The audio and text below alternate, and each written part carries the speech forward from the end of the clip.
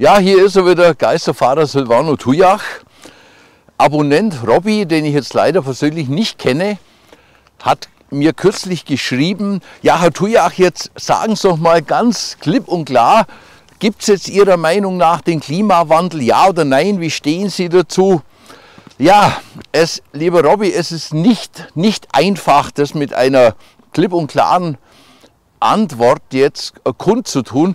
Ich fange mal, fang mal so an. Das sind jetzt auch die letzten Worte zum Klimawandel. Und zwar, es kam letzte Woche eine Wissenschaftlerin im Fernsehen, die gesagt hat, mein Gott, jetzt bei diesem Klimawandel im Sommer, diese Hitze, diese Hitze und die Leute werden aggressiv. Es ist bewiesen, diese zunehmende Sonne macht alle Menschen aggressiv. Ich habe davon in meinem 70-jährigen Leben noch nichts gemerkt. Ich bin immer aggressiv geworden, wie die Sau, wie der Augsburger sagt, wenn es fünf Tage hintereinander geregnet hat. Also was das für eine Wissenschaft sein soll, das äh, entschließt sich mir eigentlich nicht. Dann kam am selben Abend noch ein Bericht, ich glaube sogar im Zusammenhang mit dem Wetterbericht, hat ein, hat ein Meteorologe gesagt, ja, äh, wenn man dieses Jahre jetzt passieren lassen, dann ist er als allererstes auf den November eingegangen und hat gesagt, ja, der Klimawandel hat sich ja auch gezeigt im November, als es diese warmen Tage gegeben hat. Lieber Mann, ja, ich verweise wieder auf mein Alter. Seit ich 20 bin, hoffe ich jedes Jahr auf diese schönen Tage, die es immer im November gegeben hat. Nahezu immer. Ja, und nicht erst seit zehn Jahren oder seit dem äh, Klimawandel. Dann hat er auch noch gesagt, ja, wenn wir das Jahr passieren lassen, der Mai war nicht so toll, der Mai war eiskalt, ja, aber Juni, Juli, August stimmt auch nicht. Im Juni sind amerikanische Freunde am 20. Juni gekommen, die haben das Land sofort wieder verlassen, Deutschland, weil sie sagen, sie wollen doch nicht in Grönland bleiben und haben hier äh, das Weide gesucht.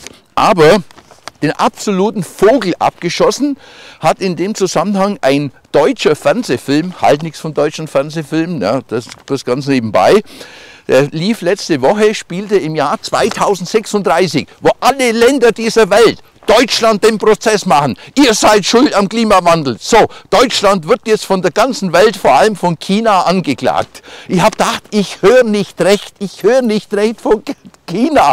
Nur nebenbei, es gibt in China seit 20 Jahren unterirdische Kohleflöße, die rauchen und qualmen seit 20 Jahren auf einer Größe eineinhalb Mal so groß wie Deutschland, die mehr CO2 ausstoßen jeden Tag als sämtliche Autos und Flugzeuge und Maschinen und Kohlekraftwerke in ganz Deutschland. Solche Filme erfüllen für mich den Tatbestand der absoluten Volksverhetzung. Anders kann ich das gar nicht sagen. Ja, vielleicht noch mal so drei Gründe für meine Skepsis zusammengefasst. Zum einen sind für mich diese Klimawandel-Horrorszenarien apokalyptische Vorstellungen. Und sogar in der Wochenzeitschrift der Zeit war großes Dossier drin im Zusammenhang mit Klimawandel über apokalyptische Vorstellungen und Visionen, die der Mensch anscheinend braucht, so wie in den 70er, 80er Jahren die Atomgefahr, ja, die äh, äh, Raketen ganz reell natürlich war. Das ist der eine. Anscheinend braucht die menschliche Psyche diese Bedrohungsszenarien. Das zweite ist, ich habe immer den Eindruck, dass es hier für die Politiker eigentlich eine ganz bequeme Sache ist, die Sache mit dem Klimawandel. Denn ja, die Politiker sind außen vor. Ja. Die können ja immer auf die bösen Konsumenten verweisen, die mit ihrem äh, überbordenden Konsum den Klimawandel hier durch ihre Flüge und so weiter veranstalten.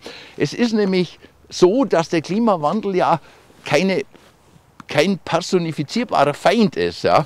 Es gibt natürlich personifizierbare, in Anführungszeichen von mir aus, Feinde wie Putin oder wie der chinesische Staatspräsident, aber da traut sich niemand was sagen. Ja. Da traut sich niemand was sagen. Da, also von China aus, kommen die Gefahren viel größer. Ja, das müsste man denen am Klimawandelcamp mal erklären. Ja, aber mit der Situation müssen sie dann in 30 Jahren vielleicht auseinandersetzen, wenn sie Sklaven von den Chinesen sind.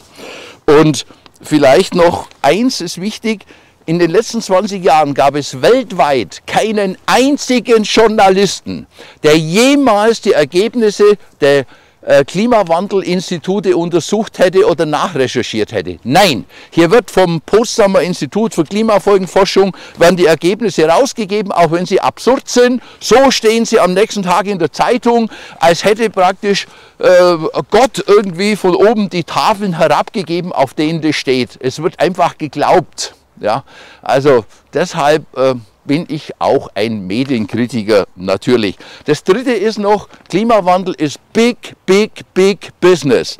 Ich meine, viele wissen ja, einer meiner, nenne ich jetzt nicht so, äh, sagen wir mal, Hauptgegner von mir aus ist dieser Joachim Schellenhuber vom Potsdamer Institut für Klimafolgenforschung, den sogar der Spiegel als äußerst dubi dubiosen Burschen bezeichnet hat, der wahrscheinlich mehr narzisstische Persönlichkeit ist als, als Wissenschaftler. Also es war kein äh, gutes Porträt, das hier geschrieben worden ist, aber dieser Mann bestimmt den Diskurs. Und wenn dieser Mann morgen bei der Frau Merkel anruft und sagt, Frau Merkel, der Klimawandel, Sie wissen ja, Klimawandel ist gefährlich, wir brauchen wieder 150 Millionen Euro für Institut, sagt Frau Merkel, jawohl, morgen, morgen wird das Geld überwiesen, weil es ja Klimawandel, Klimawandel, Klimawandel. Ja. Also Klimawandel ist auch Big Business, wo Tausende, zigtausende von Wissenschaftlern auf der Welt unendlich viel Geld verdienen. Ja, das sollte man vielleicht auch mal dabei äh, bedenken, dass es einfach auch Business ist. Ja? Also nicht nur Business ist nicht nur die LEW und wie sie alle heißen, die hier Strom erzeugen, sondern auch Klimawandelinstitute sind ein Teil von, von Business. Ja, vielleicht zu, zuletzt noch, ich kenne auch Meteorologen, die sagen, äh, sie haben auch Skepsis am, am, Klimawandel oder an der Diskussion, aber sie dürfen es auf äh, Kongressen nicht mehr äußern, weil einfach diese Meinung oder diese Ansicht nicht mehr gewünscht wird. Ja, weil die natürlich auch sagen, ja, mein Gott, wenn Meteorologen hier Skepsis äußern, dann wankt ja vielleicht dieses Gebäude. Also nicht alle Meteorologen sind hier von diesem Klimawandeldiskurs überzeugt. So, das waren die letzten Worte zum Klimawandel. Amen. Danke.